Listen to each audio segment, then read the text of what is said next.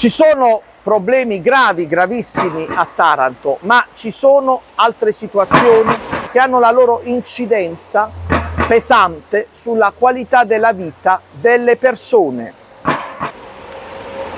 Mi trovo in Corso Umberto, all'altezza quasi di via Pupino. Guardate, qui c'è un tombino dei lavori fatti in maniera vergognosa coi piedi da Fastweb e questo, chiamiamolo, lo ripeto impropriamente, tombino, presenta una grossa criticità.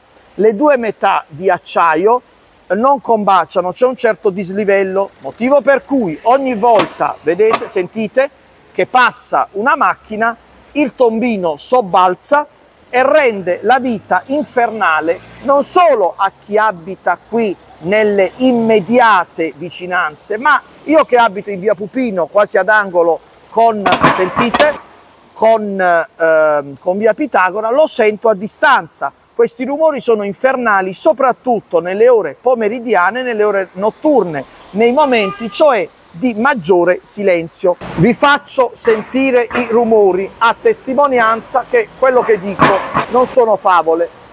Quello che dicono le persone che sono esasperate non sono favole. Sentiamole, sentiamo insieme, ascoltiamo insieme questi rumori pazzeschi.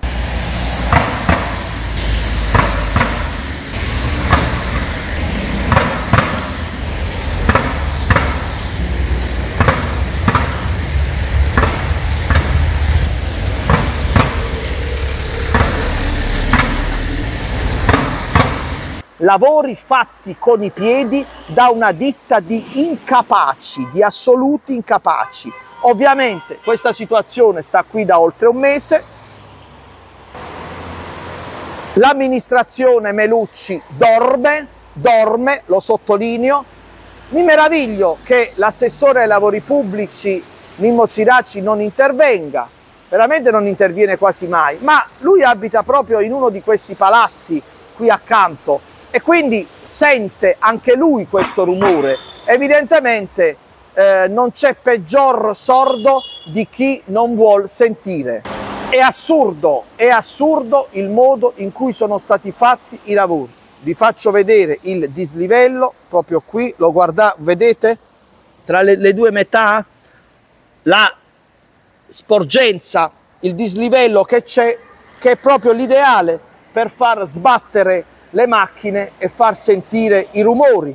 E poi tutto intorno il, il manto stradale sta cedendo, già si vedono, vedete, le crepe, lavoro fatto con i piedi da una ditta assolutamente incapace, quindi Fastweb si serve anche di ditte assolutamente incapaci, ma cosa grave è l'amministrazione comunale di Taranto che tace perché tua amministrazione, visto che è stato intaccato il tuo manto stradale, intervieni e prendi per le orecchie fino a staccarle, in senso metaforico ovviamente, la ditta.